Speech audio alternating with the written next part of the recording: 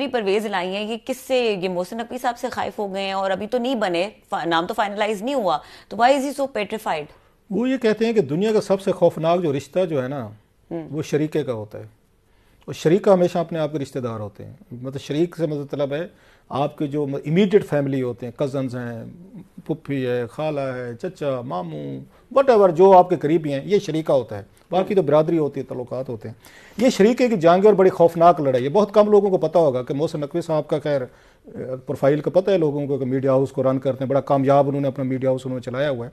और बड़े करीब हैं आसिफ अली जरदारी साहब के, ये कोई ऐसा फैक्ट भी नहीं है जिसका लोगों को ना पता हो। हम्म।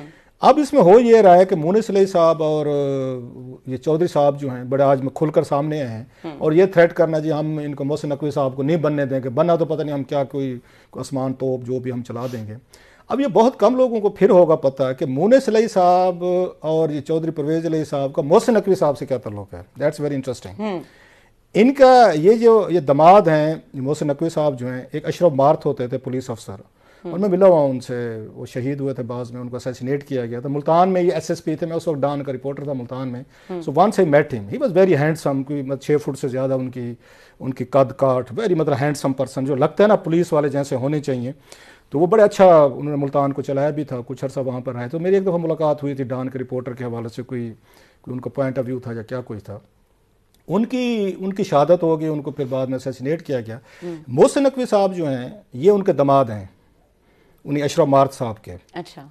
और जो ये चौधरी सालेक हैं वो भी उनके उनके दमाद हैं। सो चौधरी सालेक जो चौधरी शुजात साहब के बेटे हैं ये और मोहसिन जो है ना आपस में क्या कहेंगे? हम जुल्फ कहते हैं इनको मेरा ख्याल है।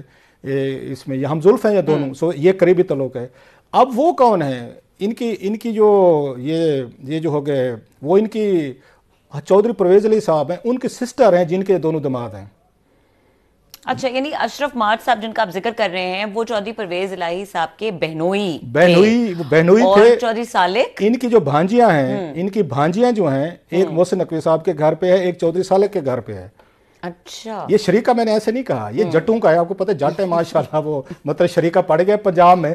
ये शरीके की लड़ाई अब इनके लिए बड़ी इंसल्ट है ये चौधरी मुनिस साहब के लिए और चौधरी परवेज साहब है कि हम तो हैं मतलब असल पंजाब के जट तो हम है पग तो हमारे सर पे है हम्म। ये बाकी इधर उधर हमारे दमाद जो है अगर वो हमारी सीट पे बैठना चाहते हैं तो चौधरी मोने मुनसली साहब कैसे ये एक्सेप्ट कर लें कि जनाब के जो हमारा हमारी उसकी उनकी वो बनेगी ना फूफी बनेगी ना मेरा ख्याल है उनकी कि उसके जो दमाद हैं जी फूफी वो आके वो आके उस पर बैठ जाए कुर्सी पे जिस पे मेरे अब्बा हजूर बैठे हुए थे हम्म। ये कैसे टॉलरेट करेंगे सो so, इनके जो मसाइल शुरू हो रहे हैं दो हम्म। तरीके थे ना मतलब एक तरफ़ मुल्क है और एक तरफ़ ये मुल्क कोई मैटर तो नहीं करता।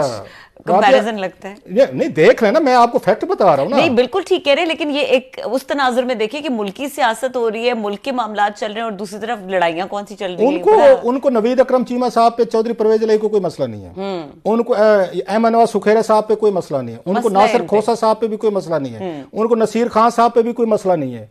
उनको जनाब आह चीमा साहब पे भी कोई मसला नहीं होगा। मैं शर्त कह लेता हूँ अगर ये मान लें इमरान खान साहब इधर से ये कह दे उन पे मसला नहीं। मसला किस पे है? मोहसिन नकवी साहब पे है। क्यों मसला है कि कोई शरीक है? हम्म। वो मेरी बहन का वो है उनका दमाद है तो एक हमारा दूर पार का दमाद जो है वो कैसे आके उस पर मतलब हमारे लिए तीन महीने वो चीफ मिनिस्टर बन के बैठेगा वो हमारे काम देखेगा।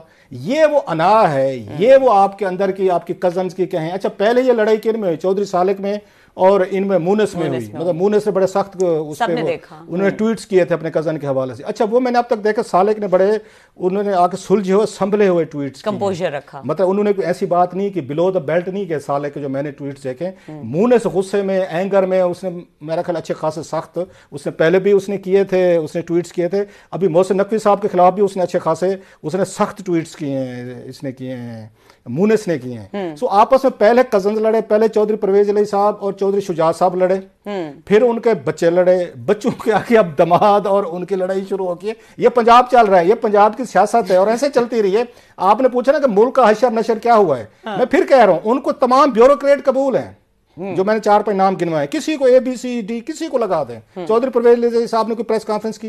कोई उन्होंने बात की? जो ही मोहसिन नकवी का नाम आया वो बाशो अपनी उन्होंने धमकियाँ देनी शुरू कर दी हम चलने नहीं देंगे उन्होंने जट्टू वाला वो वो, वो हाँ। मतलब मौला जट वाला गंडासा निकाला हम्म। नहीं जनाब नूरी नते थे ये हम नहीं होने देंगे मतलब ओवर वो डेड बॉडी वाला हिसाब किया हाँ। उन्होंने अब मुझे समझ नहीं आ रही चौस सब क्या करेंगे सपोज़ या तो फिर हम हाँ। मान लें या तो किसी एक नाम पे मान लें ताकि मोहसिन नकवी साहब को पता काट दें वो कटने को तैयार नहीं है हाँ। आप इसको कैसे रोकेंगे एक एक पॉलिटिकल हम तो आपको कह रहे थे चौधरी साहब कि आप ये वजारत आला ना छोड़ें। हमने हम्म। कहा सबने हकूमत ने भी कहा लोगों ने भी कहा अदालतों ने भी कहा सबने आपको स्टैब्लिशमेंट ने भी कहा चौधरी साहब ये तुम अठ महीने मजीद वज़ीर तुम नहीं जना मैं तो मैं असम्बली तोड़नी है। आपको अल्लाह ने मौका दिया था कुर्सी दी थी जैसे तैसे भी थी। इमरान खान साहब के हाथों से दिलवाई जो आपको डाकू चोर कहते थे उन्हीं के हाथों से दिलवाई आपकी इज़्ज़त बहाल करवाई ना अल्लाह मियाँ ने कि जिसने डाकू कहा था उसे डाकू कहा तो आपको उन्होंने इज़्ज़त दिलवाई पंजाब में अल्लाह ने दिलवाई या जिसने भी आपकी आप पे ब्लेसिंग हुई। आपने कहा नहीं मुझे तो नहीं चाहिए।